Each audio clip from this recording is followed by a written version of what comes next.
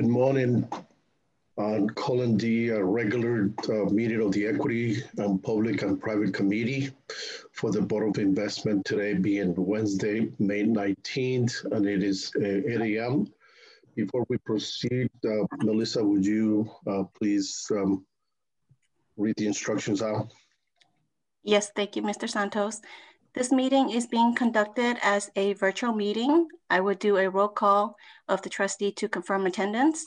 Mr. Kehoe? I'll come back to you. Uh, Ms. Green? Hello, good morning. Oh, is that you, Mr. Green? Yes, I'm here. Good morning. I'll just, I'll mark you in now. Um, Mr. Jones? Yes. Chair Santos? Present. Mr. Bernstein? Here. Mr. Kelly? I'll come back to you. Ms. Sanchez? Here. Okay, um, let's go back to Mr. Kehoe.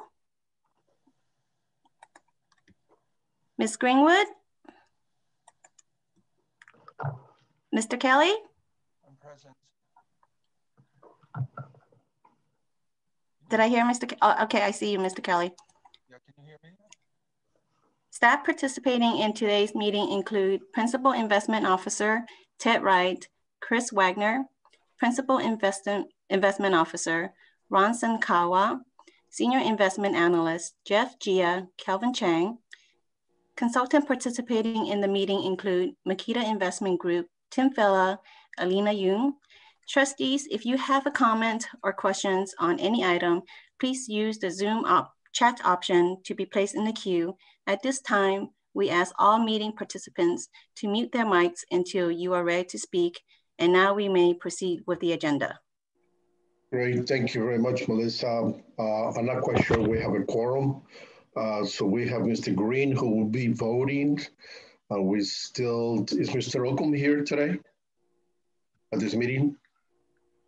Um, Mr. Jones is actually uh, replacing Mr. Oakham. So Mr. Oakham is no longer on the board. Yeah. Oh, that's right. I forgot. okay. Good morning, Mr. Jones. All right. So do, we do have a quorum then with Mr. Uh, Green, uh, a voting member. Uh, having said that, I will entertain um, a motion to approve the minutes of uh, March 10th. I moved.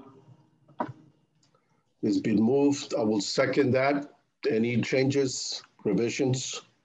Uh, Mr. Kelly?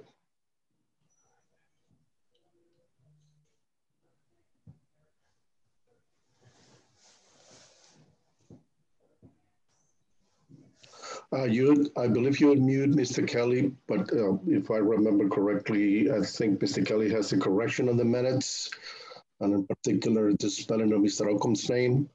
Uh, anything else that that um, you would like to have us change or correct, Mr. Kelly? No? Okay, So or another we need to fix Mr. Kelly's um, uh, connection. Uh, okay, so they're having, uh, with those changes, uh, would that be included in the in the motion? I think it was Mr. Green who made the motion. Yes. Yes. yes. Okay. Uh, um, should I do the call, the roll call? Yes, please. Mr. Kehoe?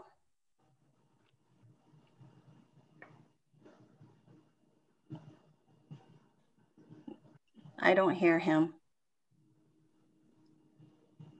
Mr. Kehoe?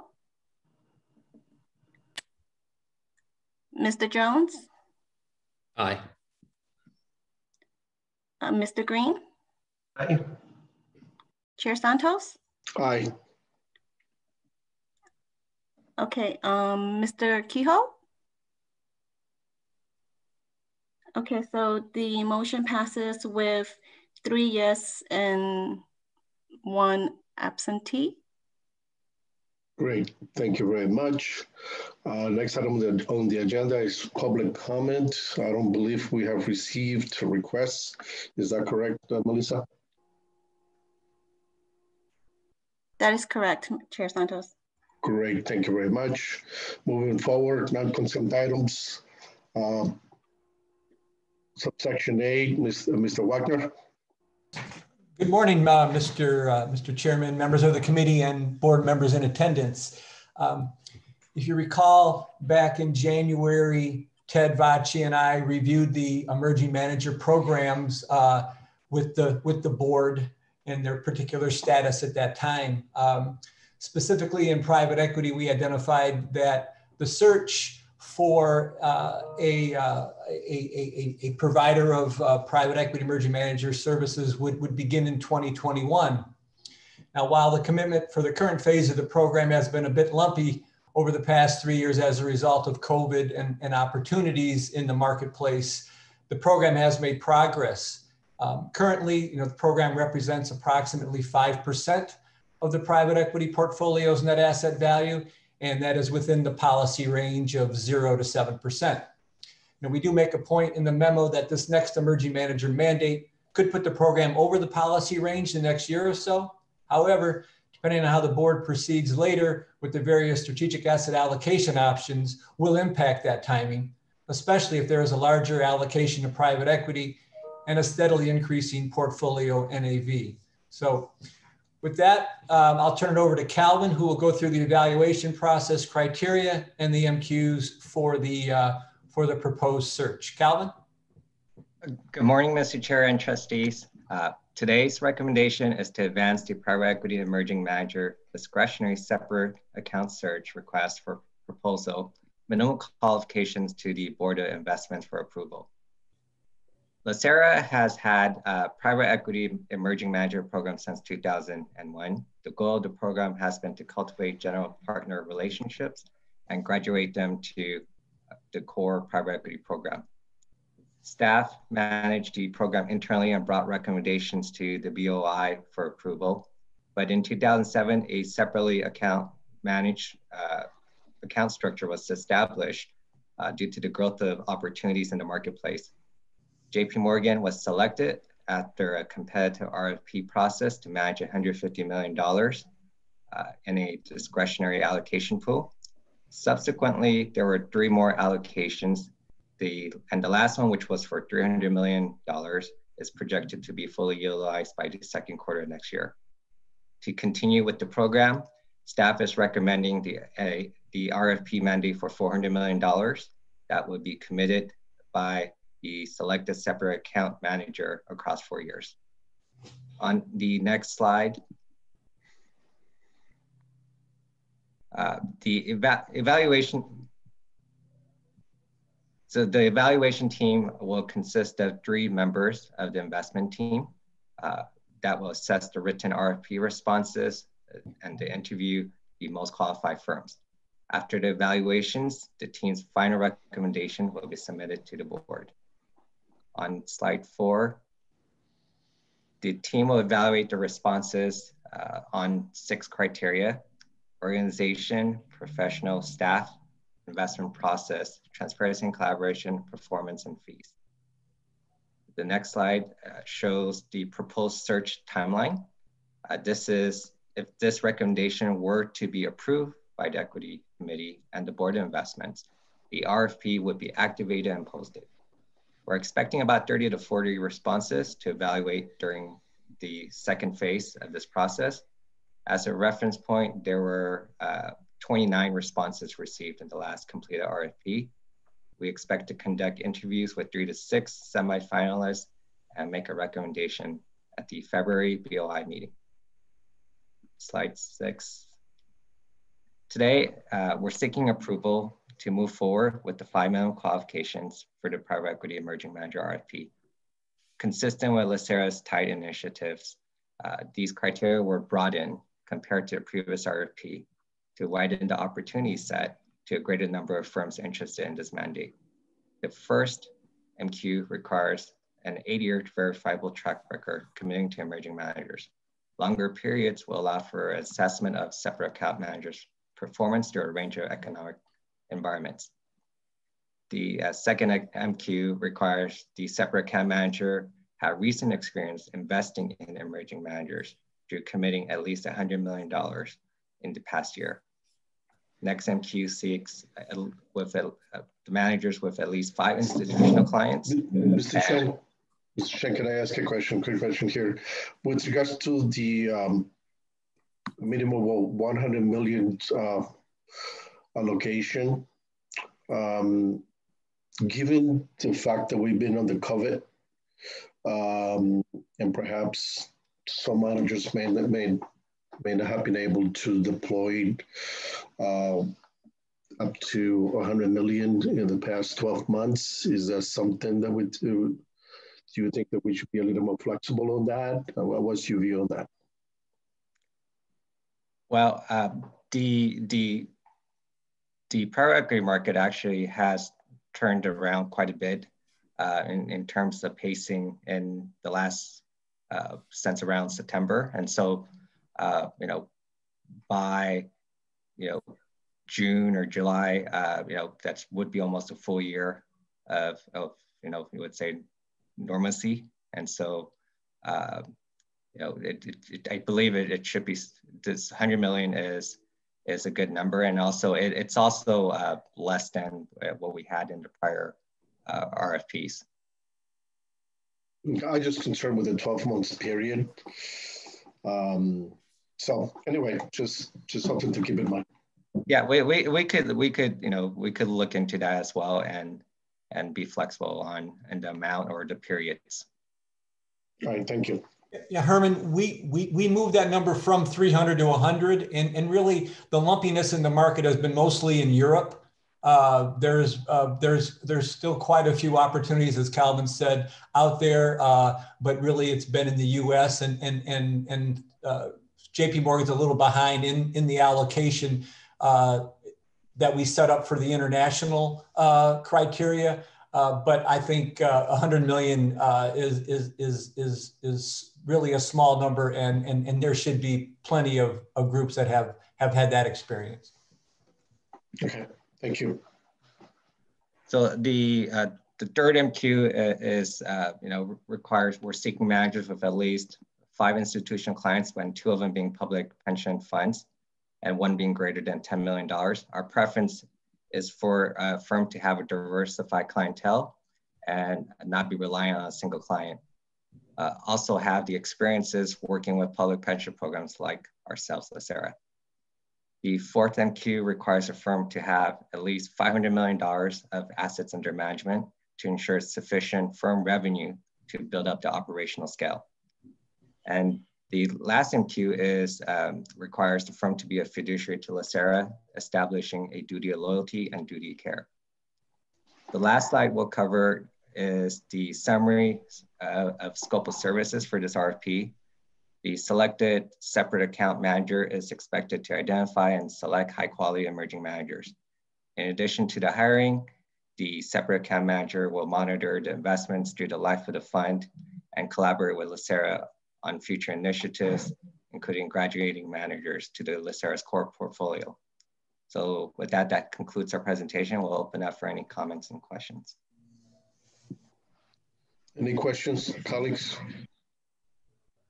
Question. Let's, let's see, uh, Mr. Kelly. Thank you. So Calvin, I had a question on, on the math is not working for me. On page two, you say the current the program currently represents approximately 5%, 375 million of the private equity portfolio. And then earlier you say the total program 650. So if we make this additional commitment, even without the six, even without this additional commitment, the 650 is 8.9%. The math isn't working for me. Um, so um, I'm concerned about that because we're Without the, without the commitment, we are, we are already over the 7% target according to the math. Well, the, the NAV is 300 right now, around 375. 75, right. Yeah. And so the fund, I believe, is above 8 billion. Uh, Seven, 7.5, that works out to be. Uh, Mr. Kelly, uh, how it works is we we commit the money to JP Morgan or, whom, or whomever the manager would be. It's not drawn down. So uh, while the math may uh, uh, not work because you're, you're, dividing the committed amount, not the invested amount or the net asset value into the net asset value of the entire program. So you get a much smaller percentage. Uh, so until that money becomes net assets, uh, it, we are not over the over the policy range. If, if, if that if that clears it up for you.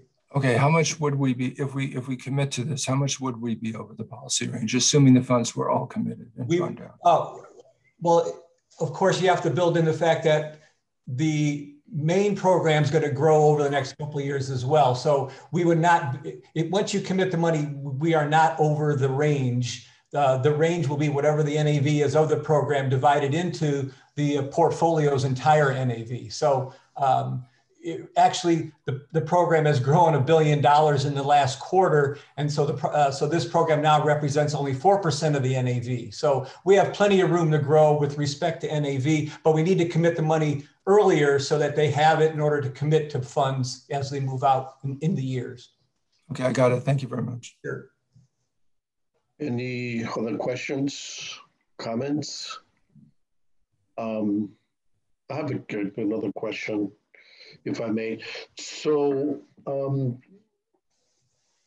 where are we going to, or how are we going to evaluate the um, manager, um, the managers, uh, ENI policies and makeup of the workforce?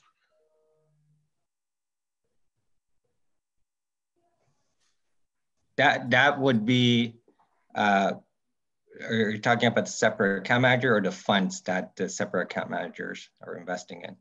Both. Okay, well, uh, I, I, guess either way, we, we would be, uh, you know, following our our uh, standard process with ESG uh, and DENI um, that we have for all of our managers and investment opportunities. So, uh, you know, we generally have uh, our, our diversity questionnaire, ESG questionnaire, uh, and, and the uh, surveys. And so, uh, you know, we'll be collecting those data sets and evaluating them and discussing uh, with the managers directly if, if, you know, anything comes about as well. So it'll be uh, similar to any other report that we get that will include um, a paragraph or two with regards to the due diligence uh, regarding the uh, ESG and the ENI? Yes, it, it will be no less than uh, any other investment opportunity. Okay, good. Uh, Ms. Sanchez?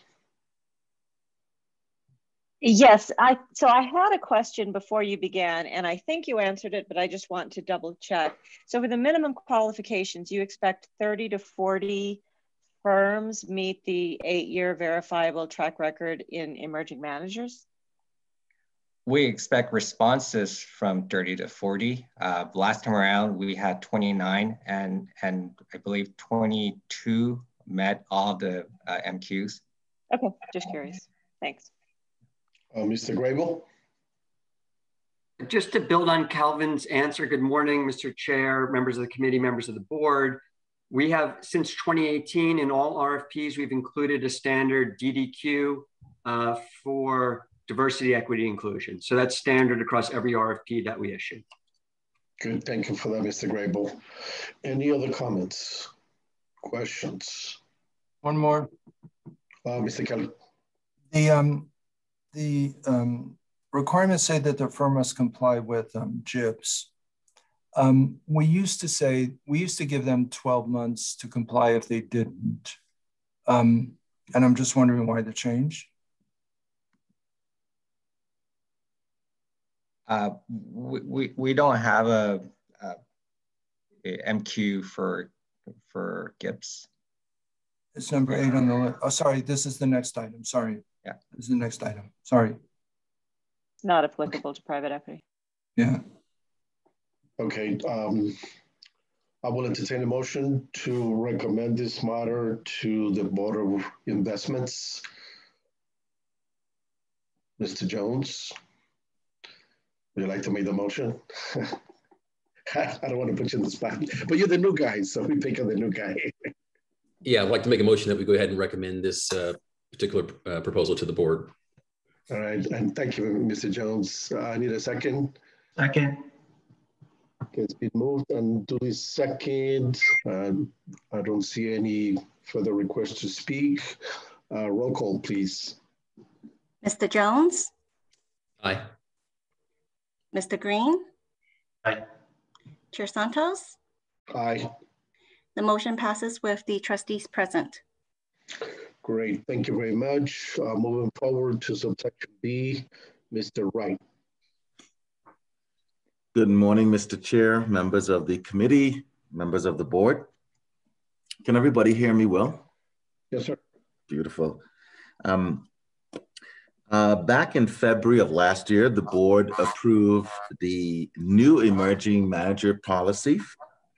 And with that, some of the key objectives were to make the policy more market aware, as well as to widen the opportunity set for participants. And part of that entailed tailoring each of the searches, the RFP searches, to the prevailing manager universe at that time. Um, additionally, in November of 2020, staff presented a structure review um, to the committee. And included in that were several initiatives, one of which was to continue to build out the emerging manager program. Um, with that, my colleague Ron Senkandwa will talk you through the highlights of the current uh, proposal. Ron? Thank you, Ted. Good morning, Mr. Chair and members of the committee. Oh. Staff is recommending that the committee advance the minimum qualifications for the Global Equity Emerging Manager RFP to the board for approval. For today's presentation, we'll cover the background, the search overview, the evaluation process and criteria, the timeline, the minimum qualifications, and wrap up with the scope of services summary. Starting off with the background on slide two. In September 2017, the board approved transitioning the US only fund of funds emerging manager program into a direct investment program and expanded the program to include non-US mandates. As a result, an RFP was issued for US and non-US equity managers. The search was concluded in August 2018 with three managers hired, two US small cap managers and one non-US small cap manager. In February 2020, the board approved a new emerging manager policy. Like Ted mentioned earlier, one of the key objectives was to make the policy more market aware and to widen the opportunity set. Minimum qualifications will be determined by the universe prevailing at the time when the search is conducted. The allocation to emerging managers is 0.9%, which is within the board approved range of 0 to 5%. Moving on to the search overview slide, slide three.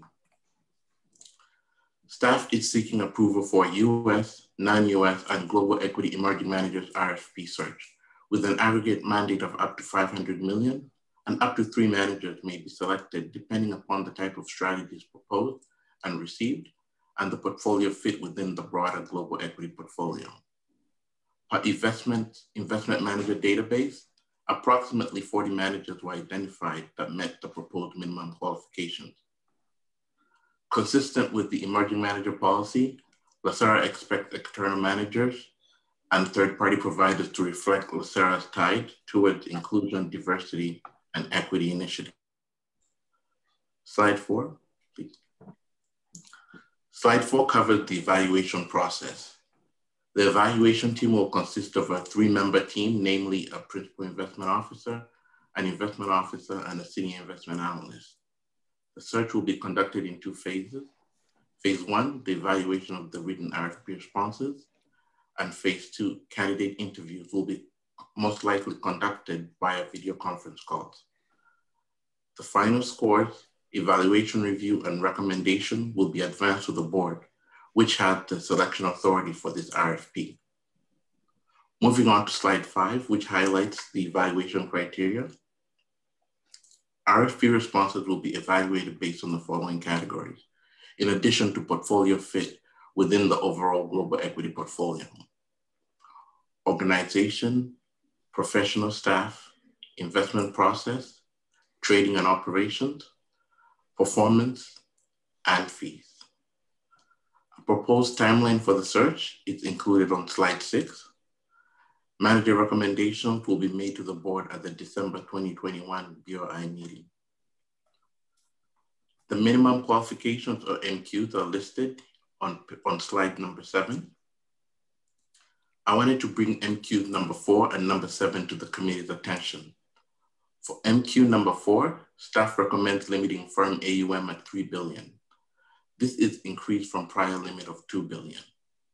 For MQ number seven, staff recommends changing the portfolio manager track record to at least three years. This is reduced from five years. Both these MQs are intended to broaden the manager universe. MQ number six is intended to capture managers with experience managing institutional products and to ensure that Laceras Capital does not represent a disproportionate amount of the product's assets. On slide eight, we have the summary of the scope of services to be provided. Managers will provide long-only US, non-US, or global equity management services, monitor and report on investment in collaboration with the custodian, and provide topical updates on market environment, investment themes, and strategy as requested. Attachment number two provides additional details on the minimum qualifications. Meketa has reviewed staff's memo and concurred with staff's recommendation. Their memo is included as attachment number three. This concludes our prepared remarks. We're happy to answer any questions you may have at this time. Any questions, Mr. Kelly? Good morning. I was wondering why um, we used to allow a uh, firm to become GIPS compliant within the first 12 months. Um, and you're requiring it as a, as a condition of response here. And I'm just wondering why the difference. I'm fine with it. I'm just wondering why the change. Yeah, Mr. Kelly, to answer your question, we did require that prior, but we've had uh, issues uh, where uh, managers promised to comply within 12 months and they didn't. So and also this is going to be a global mandate for emerging managers in terms of we want to make sure that we can compare managers across regions and globes and making sure that everybody's getting a comparable comparison. Okay. Have you found that the change um, has, has, has, has uh, reduced the number of, of firms responding? No. Okay. Thank you very much. Yeah, so I have a question. I don't see any other requests to speak. So I have a question in the meantime. So two questions actually. Um, the, the goal is to uh, conduct an emerging manager search every two years. So what is the staff doing and uh, to um, find those those managers? I mean, I'm, I'm kind of looking at CalPERS and CalSTRS. They have a, a conference where they invite the emerging managers uh, to attend.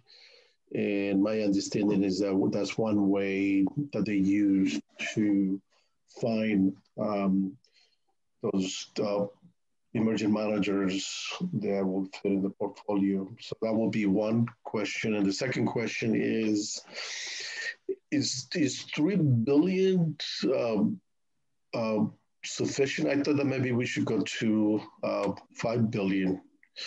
Uh, so I will definitely would like to hear from you on both uh, items. If I can, if I can jump in. Yes, sir. Um, uh, great questions, Mr. Santos. I'm actually happy that you asked, especially the first one. Um, um, I guess we've done, in, in addition to these MQs, which Ron noted, just on the investment screens, we're looking at 40 plus qualified applicants. But of course, some firms may also have other products that will qualify, so that number will probably go up if I can recall, a couple of years ago when we did this search, we had, I want to say, 16 run that yes. qualified. So it's more than doubled. We'll, we'll probably get two and a half times, at least two and a half times to three more qualified applicants. Um, also, a lot of the initiatives that we've we've um, that we're working on will add, I think, to the number of um, to the exposure of emerging managers. So, with the um, with the advocacy program, for example, we're doing some DEI um, initiatives, and that will allow us to to um, at least the allow the introduction of a lot more firms to LACERA. Additionally, um, we keep an open line to managers, and we have a process in place that's been there for, I want to say, at least five, six years, where we um, not only we um, respond to to every manager query, we have a process where we screen and set up meetings with all um, all manager queries as well as log them as we move forward. So um, we have a, an incredibly robust process to, to not only uh, see managers, but also to communicate them with them on a regular basis, the emerging managers. Um, on the second question with the 5 billion, uh, I think Ron noted that it used to be 2 billion before and we have it at three. Um, we, we think that's a, a sufficient number to get a broad a wide pool of participants. If we were to go up to five, uh, we would we would hit some of our current managers who are in our core portfolio, who are probably not really emerging managers. Um, so I think from in aggregate, you know, great questions. Um, I think we we are certainly um, you know at the top of our, of our game when it comes to making sure managers have access to us. Um, this is uh, Mr. Wright, just to follow up to your question. So, um, so currently we have well, several managers in the program, right? And one of them is GE. Uh, how how they performing at this point? So, sorry, which which ones? Sorry, I your GE? voice. Do we have GE the portfolio? No. No, we do not. Okay, never mind. Okay, I believe I have uh, Mr. Um, Leandro and then Mr. Grabel. Thank you, Mr. Santos. Um, just for further perspective, Meketa does conduct two annual meetings where we invite emerging managers across all asset classes. A good number of those come from the public equity space.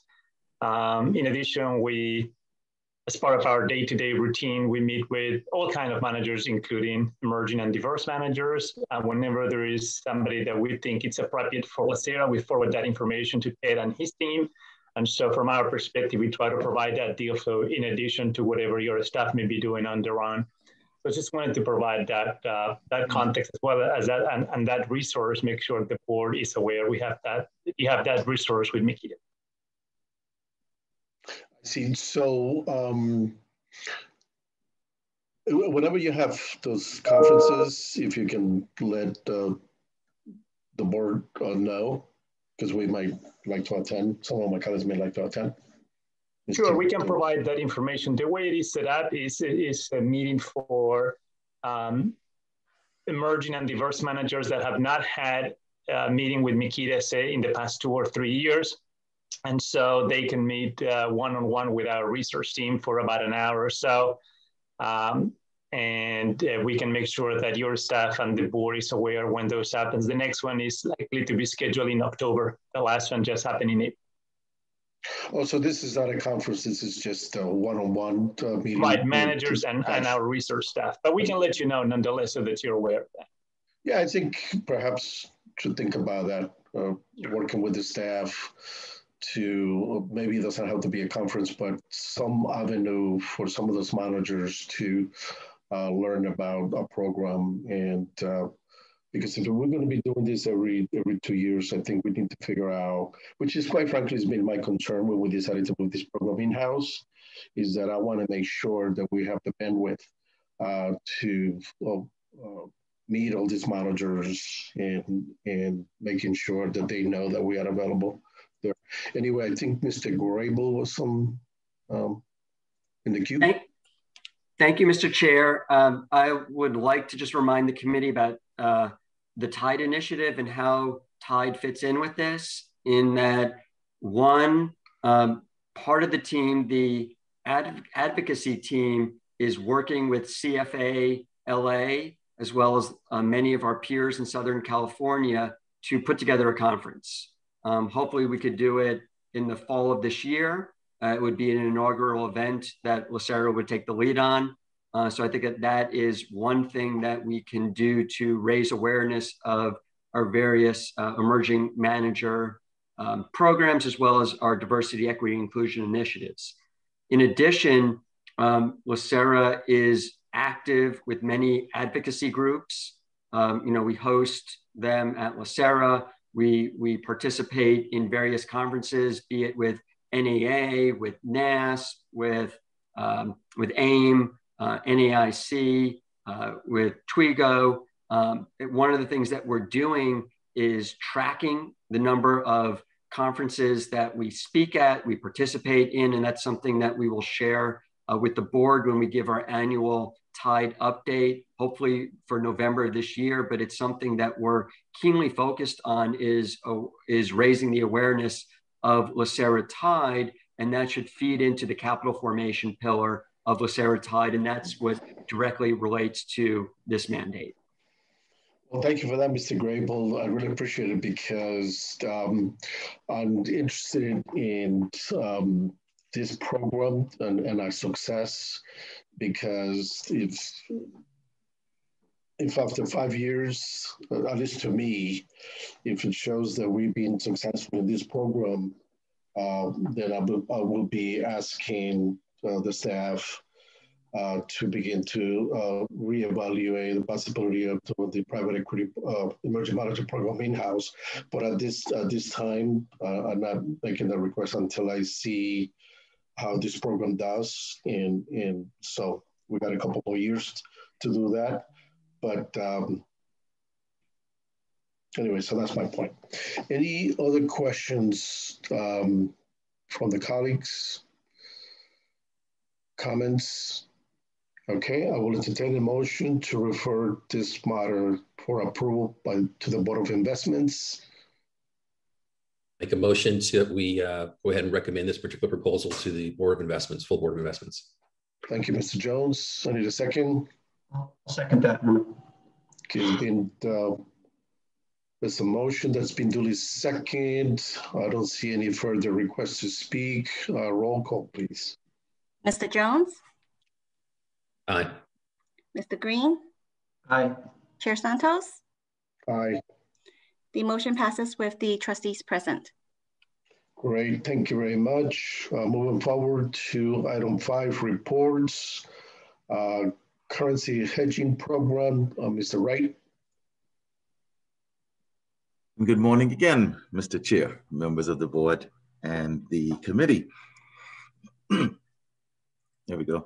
Um, back in the November staff and during staff structure review, um, we told the board that we would follow up with a series of presentations.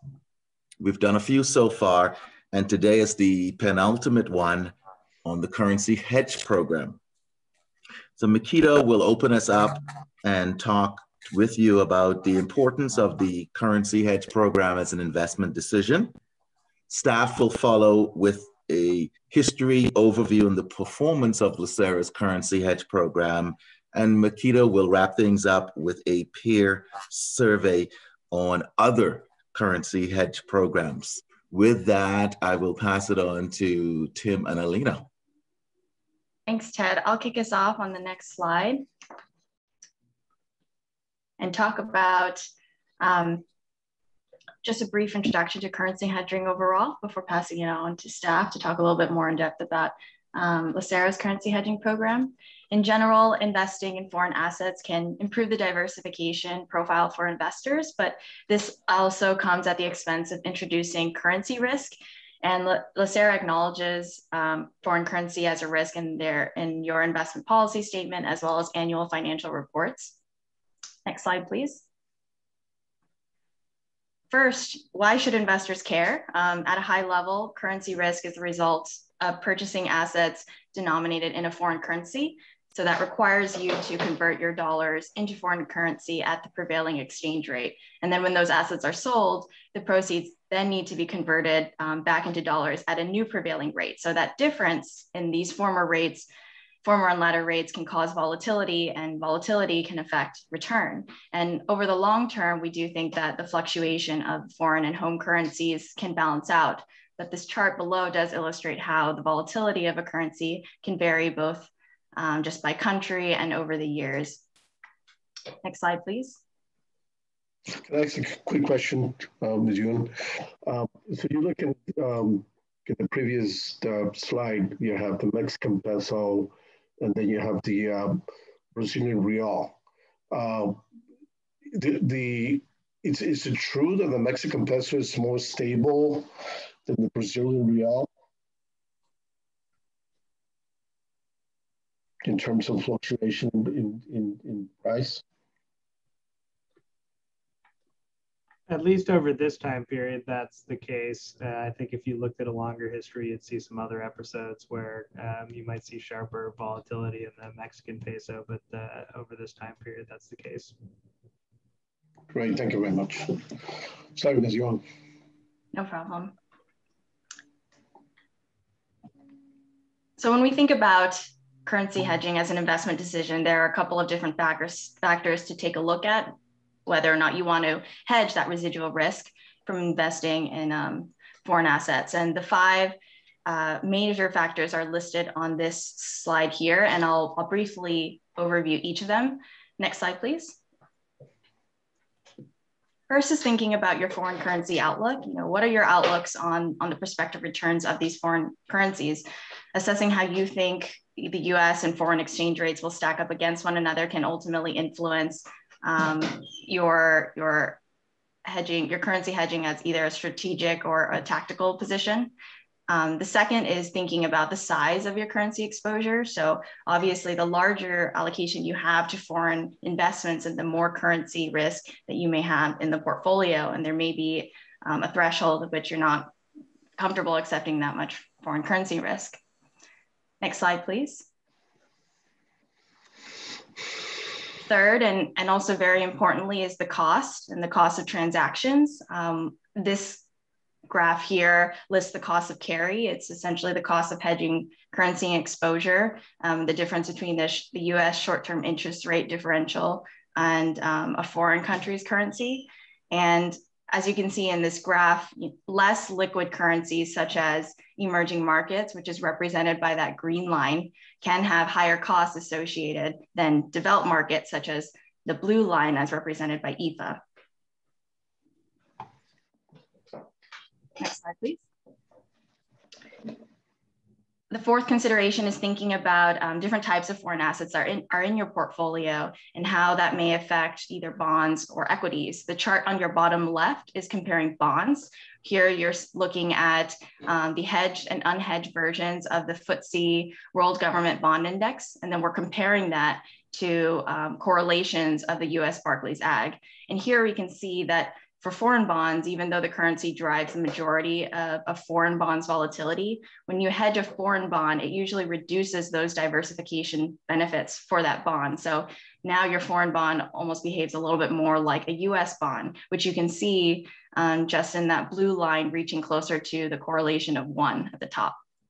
On the other hand, when you look at the right hand, the bottom right hand graph, when you're comparing equities, um, specifically hedge and unhedged versions of the MSCI EAFE and emerging markets and comparing that to correlations at the S&P 500, we see less of a noticeable difference. So that makes hedging equities a bit more attractive from a diversification standpoint. Next slide, please. And then the fifth consideration is just to consider what percentage of your investments you're even looking to hedge. That can go from the bottom of 0% hedge ratio, hedging none at all, um, all the way to a full hedge ratio of 100% or something in the middle of the fairway at 50%. And currently we're doing 50%, is that true? Correct. Okay. And uh, next slide, please. And finally, after considering all of those five steps, and let's say you decide to move forward with that currency hedging program, then of course there's also these different implementation options, which can range all the way from in-house currency management to even um, active currency management. And active currency tend, can tend to even be less focused on hedging, but even more focused on capturing those currency returns.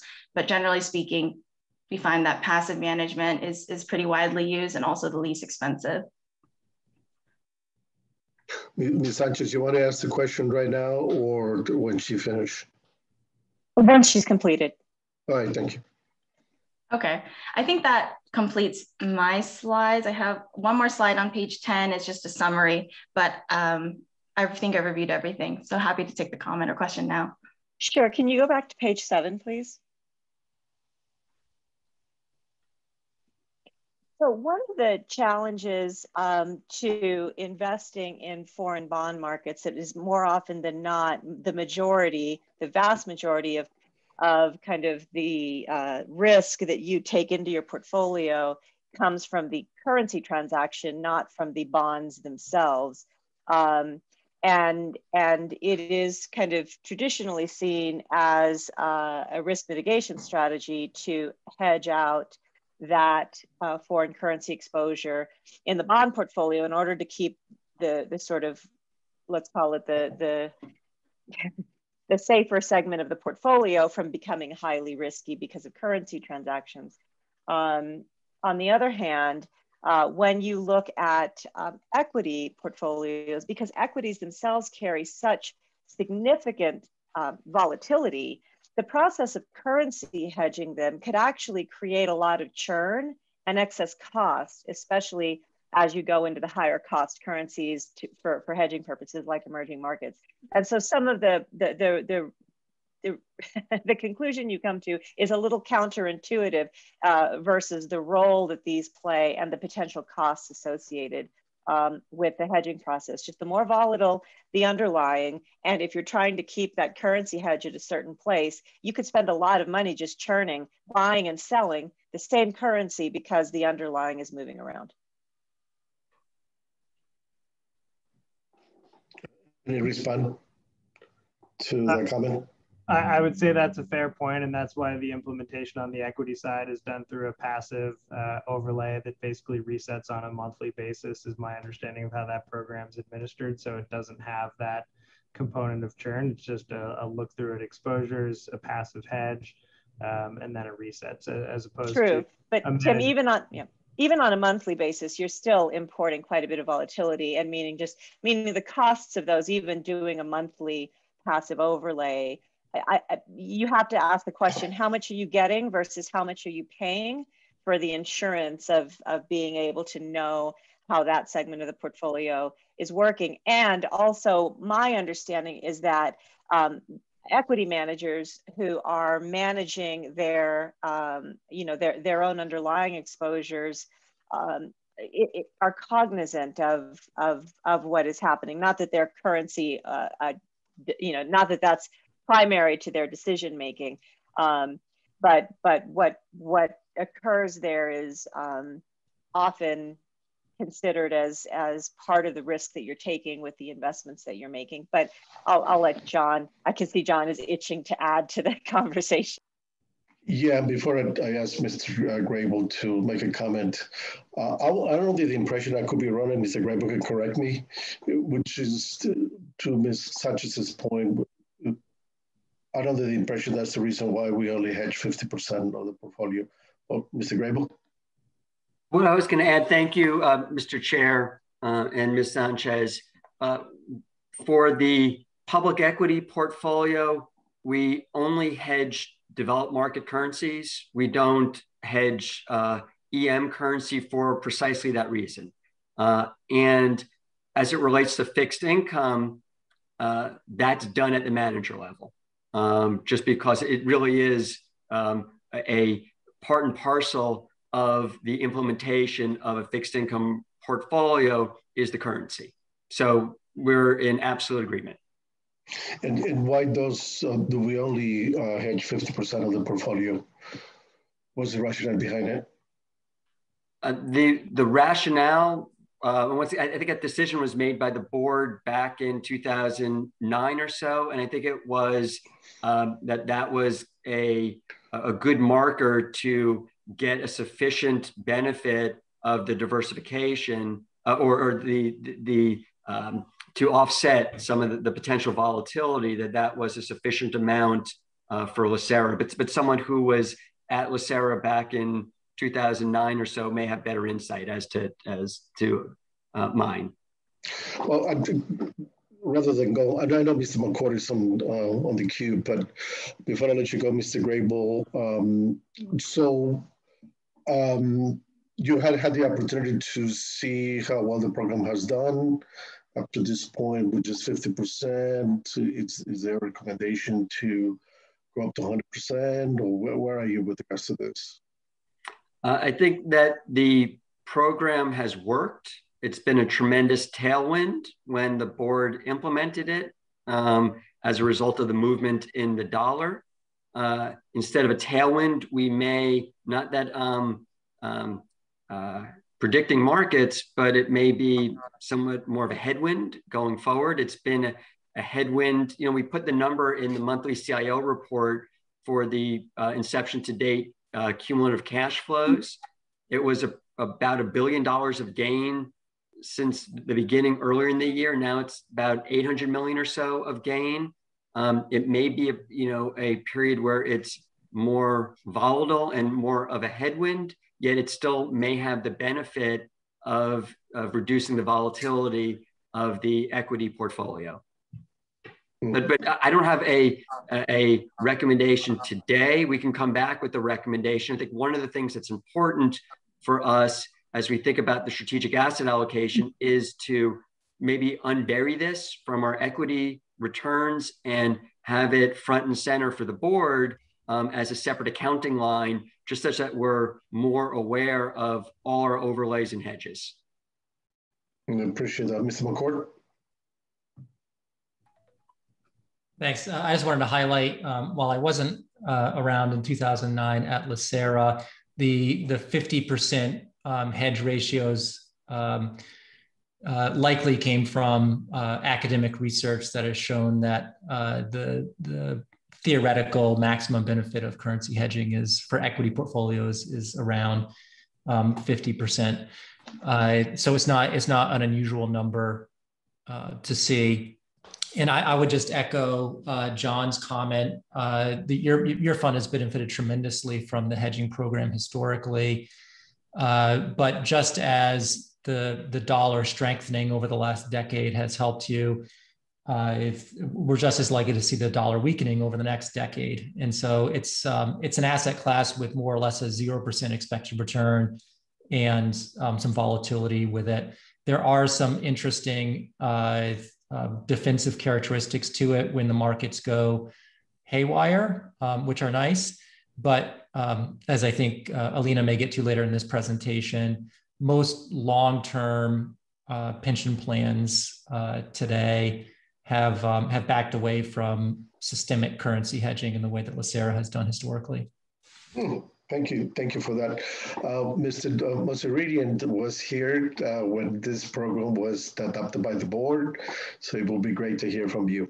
Mr. Mahseredjian? Thank you. Thank you, Chair Santos. Yes, I wanted to provide some historical perspective.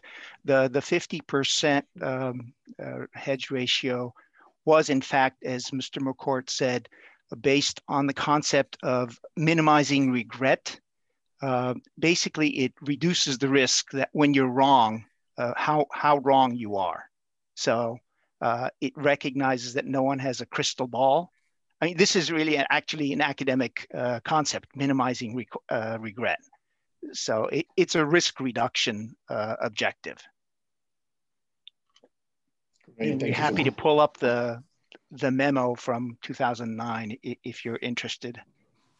Uh, no, I just wanted um, to look forward and, and to see whether this program is still viable. And, and um, um, like everything else, we always need to be uh, ready to review all programs to see whether or not there's still a benefit. That's it. Um, I don't want to go back to the past. Any other comments? Um, uh, I'll, I'll belay my comments. Um, I think Vache took, took the words out of my mouth because I was going to talk about minimum regret. Um, but I wanted to do a quick time check, Mr. Chair. I see we're at six minutes to the hour. I, I, I wanted to see what your flexibility was for the remainder of the presentation. Um, is, is Mr. Uh, Knox? Sure, I, I think we're fine on time. Our, our agenda this morning is um, full, but not not super packed. So how much time would you like, Mr. Wright? Uh, I think we I think we can be done within the six minutes, but I just wanted to be okay. cognizant of not running I appreciate it. Yeah, and then we'll take a few minutes just to reset in between this and uh, BOI. So go ahead. Great, thank you, Mr. Knox. Okay, maybe Jeff can jump in. Yes, please. Uh, thanks, Ted, and, and thanks, Alina. Uh, the next three slides provides history, overview, and performance of LACERA's currency hedge program. Um, just to echo previous conversations, uh, the program was implemented in August of 2010 after the board approved the program's objective in 2009.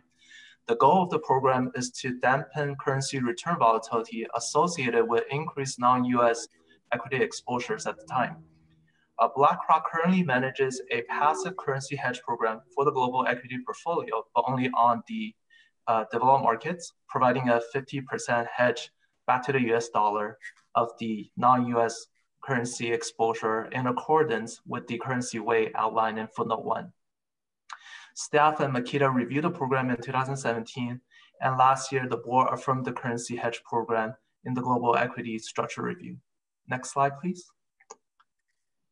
This slide provides an overview of the currency hedge program. I'll highlight a couple of key points. First, the program is passively managed, meaning that there's no directional currency bets. Uh, we don't hedge the emerging market exposure, um, as discussed previously, due to the high transaction, uh, transaction costs. Uh, the program is implemented using currency forward contracts, and the exposures are rebalanced on a monthly basis.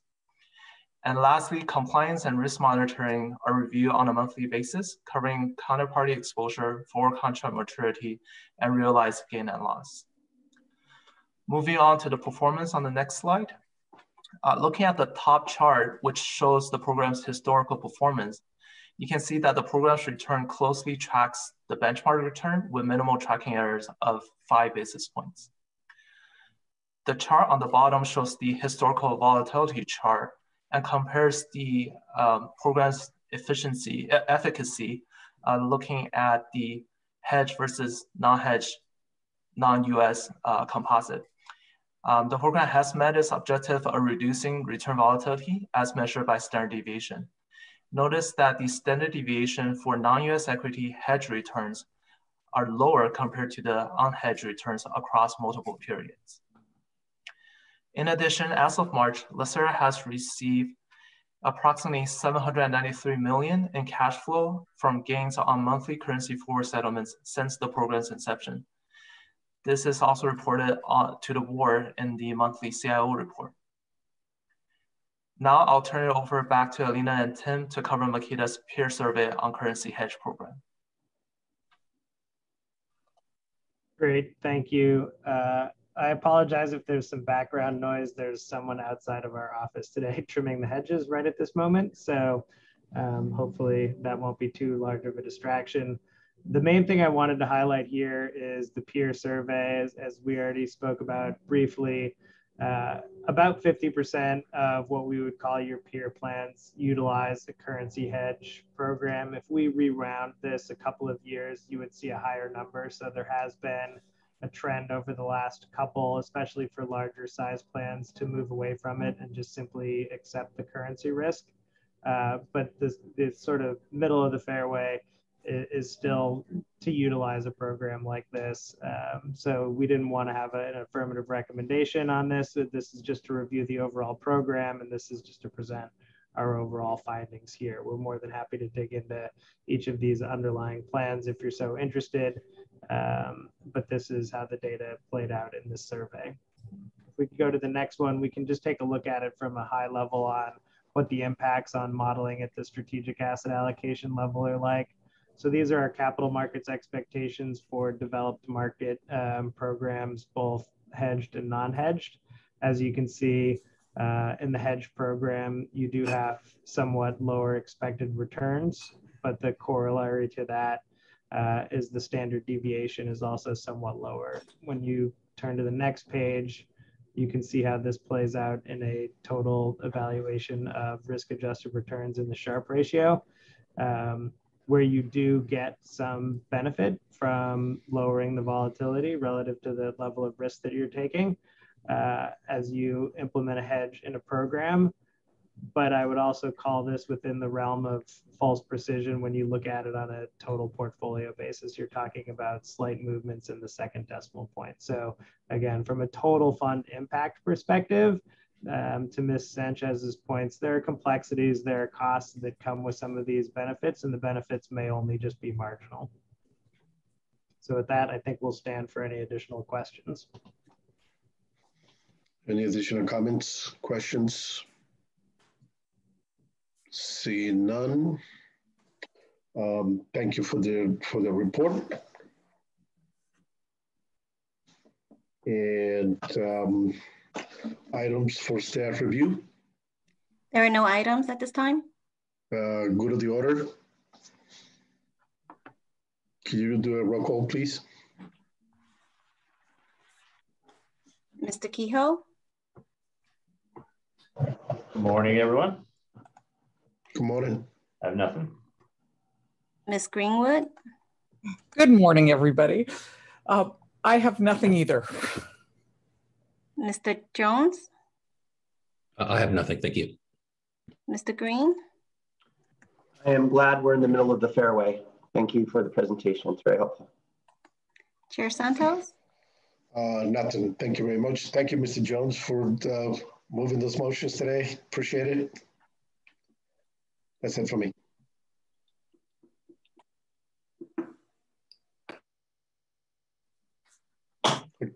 Okay, I will entertain a motion to adjourn.